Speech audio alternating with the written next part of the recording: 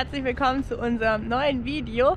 Heute ist ja leider schon wieder Hallo. der Heimfahrtag und dementsprechend gibt es jetzt noch so eine 900 Höhenmeter Runde auf den Monte San Giorgio. Coole Aussicht, cooler Trail und ja, nicht zu lange, das passt perfekt. Heute ist deutlich weniger los wie beim letzten Mal. Geht relativ idyllisch durch die Weinplantagen durch. So schön. Ich glaube, er verarscht mich. Aber ich bin mir nicht sicher. Ja, wir fahren heute die Romantikotour. Von nun an ging es wieder richtig Mountainbike-mäßig bergauf. Puh. Die GoPro hat sich übrigens mal wieder aufgehängt. Daher mit dem Handy. Das ist diesmal die brave Achter, die hängt sich nicht so oft auf. Aber hin und wieder halt doch auch. Ja, letztes Mal haben wir ja schon festgestellt, dass es hier super flach bergauf geht. Dementsprechend schieben wir heute mal. So steil! Das ist wirklich steil. Das letzte Mal schon am Boden gelegt, weil es so steil war. Nach dem doch ziemlich steilen Schiebestück geht es dann erstmal wieder flach rüber. Aber jetzt ist dann gar nicht mehr so weit. Noch so 150 Höhenmeter. Nudeln! Oh nein! Hunger! Ich freue mich zwar, vielleicht kocht er nachher noch Nudeln, aber jetzt heißt es erstmal Bergaussicht genießen und Trail. Hunger.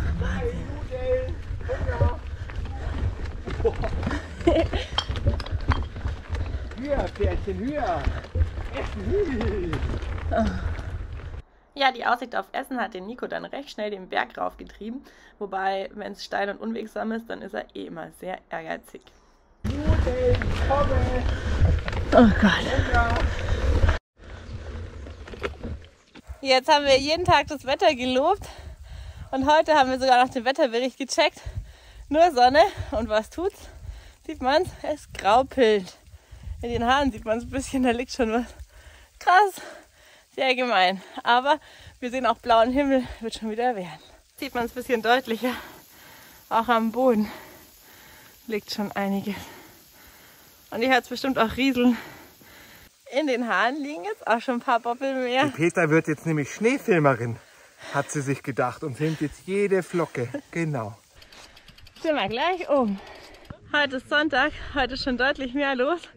Und mit dem Graupel hat es voll abgekühlt. Man sieht den Atem. Krass, ja. Aber die Sicht ist trotzdem ganz cool, finde ich. Weil man sieht trotzdem über den See. Und dadurch, dass es so düster ist, zeichnet das jetzt alles voll gut. Also sieht schon cool aus auf alle Fälle. Der andere Berg, den wir sonst heute machen hätten wollen, ist da in den Wolken. Und von dem her haben wir es ganz gut erwischt. Und damit ging es für uns dann auch schon wieder auf die Abfahrt. Diesmal haben wir oben nicht so lang verweilt, weil irgendwie gefühlt wie auf dem Volksfest, wenn da mal 20, 25 Leute rumstehen, dann ist es einfach nicht so gemütlich. Und wir wollen ja sowieso noch Nüdelchen kochen, deswegen gab es auch großartig keine Brotzeit. Wobei, ehrlich gesagt, ein Stück Salami haben wir schon gegessen. Aber ja, äh, ein bisschen eingepfercht, zwar mit Corona-Abstand, aber das war es dann auch. Und das wollten wir nicht filmen. War einfach nicht so gemütlich wie sonst. Der Trail ist aber trotzdem so schön wie immer. Oben ist der recht einfach, würde ich sagen. Also da ist es wirklich flowig. Und der wird dafür dann im Mittelstück ein bisschen knackiger und vor allem da war es relativ knackig, weil wenn die Felsplatten dann nass werden, dann sind die teilweise einfach rutschig. Das ist ein bisschen wie so Marmorplatten. Also ja, das ist nicht mehr so fahrradfreundlich, aber da ging es noch und dementsprechend bleibe ich dran.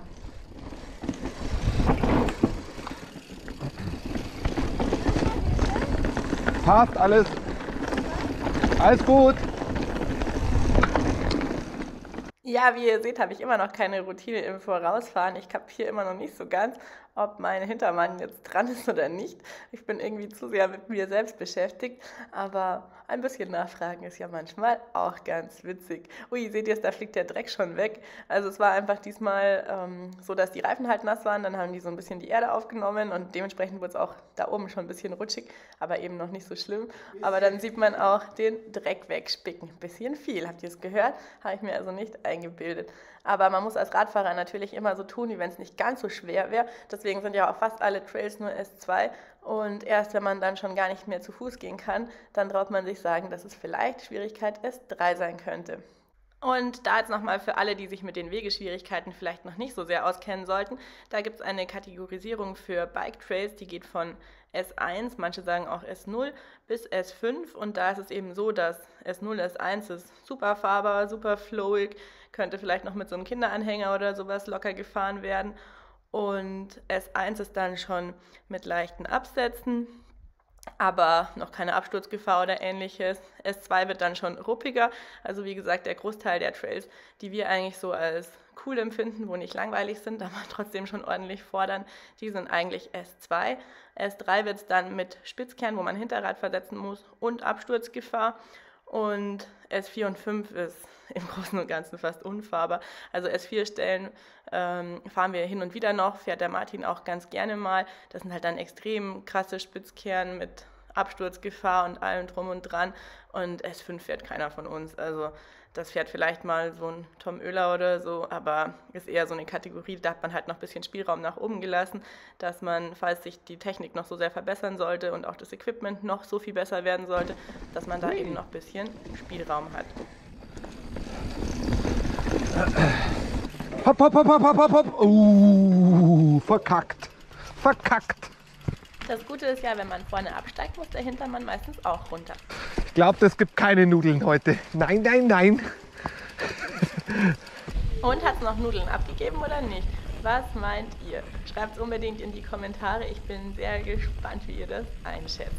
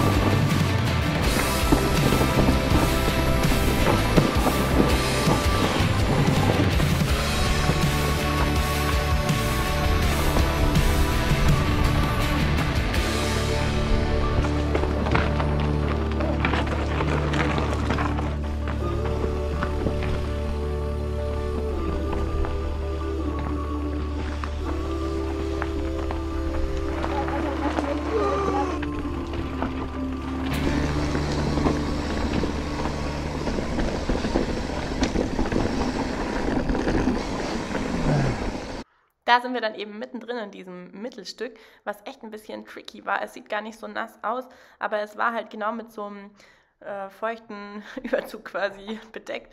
Und die Reifen, wie gesagt, die haben dann die ganze Erde aufgenommen. Ihr kennt das wahrscheinlich, man sieht es auch. Also die sind halt einfach voller Erde und dann rutscht man einfach nur noch. Und ja, egal wie viel Druck man dann aufs Vorderrad gibt, dann kann es trotzdem mal sein, dass es wegrutscht. Und diesmal habe ich sogar einen Abstieg gemacht. Allerdings ist der natürlich genau nicht auf Video. Mein Hilfeschrei wäre noch drauf, aber ja, man sieht nichts. Deswegen habe ich es euch jetzt mal nicht eingeblendet. Passiert ist zum Glück nichts. Und das ist ja schließlich die Hauptsache. Ja, Nico hat sich schon ein bisschen beschwert, weil ich kann super stehen mit dem Fahrrad. Also das heißt, ich habe das früher schon Ewigkeiten mal an der Ampel geübt. Jede rote Ampel, immer mit Stehversuch. Und Irgendwann konnte ich halt dann locker die ganze Ampelschaltung durchstehen. Das kann ich natürlich auch immer noch. Dementsprechend schaue ich mir die Hindernisse dann ganz gerne kurz an, wenn ich selber vorausfahre. Bleib natürlich in den Clickies. Also so viel zu der Frage, weil das fragen auch immer wieder welche. Ja, wir fahren meistens mit Klickpedalen, also im Sommer über immer. Im Winter halt dann manchmal mit Flats, weil sonst die Zehen einfach zu kalt werden. Und genau, dann bleibe ich in den Pedalen natürlich, schaue da kurz rein und dann geht es runter, flupp. Und das ist, glaube ich, für den Hintermann manchmal gar nicht so einfach. Aber ja, ich fahre auch gern hinterher. Von dem her werden wir halt dann nächstes Mal wieder Positionswechsel machen müssen. Wie ist das bei euch? Habt ihr auch eine Reihenfolge, die ihr normalerweise fahrt? Also wenn ihr mit euren Freunden fahrt und seid ihr dann derjenige, der lieber vorausfährt oder lieber hinterher? Also ich fahre wirklich super gerne hinterher, außer eben die Person vorne, die fährt total unsicher oder eine komische Linienwahl. Dann überhole ich auch gerne mal und fahre doch lieber voraus. Also ich finde, das ist so, ja, aber wenn jemand eben gut fährt, so wie hinter Martin, Vicky oder eben auch Nico, fahre ich wirklich lieber hinterher als wie voraus. Start it up.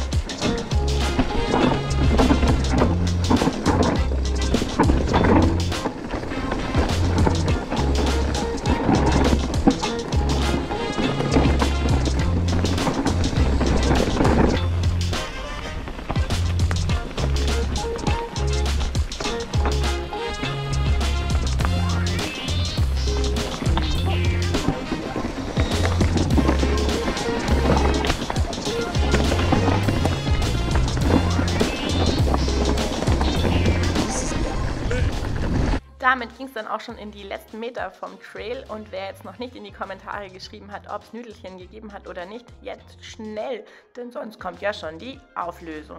Also, was denkt ihr?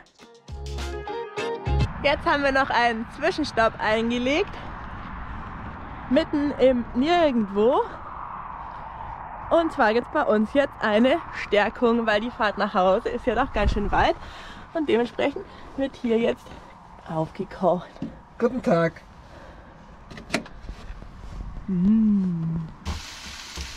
Mal sehen, ob die Petra etwas bekommt. Wieso sollte die Petra nichts bekommen? Ja.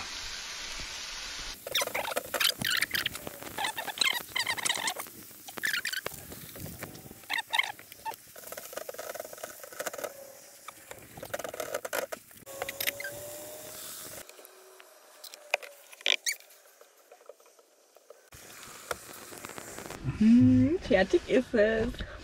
Mahlzeit. Ja, wir hoffen, das Video hat euch gefallen.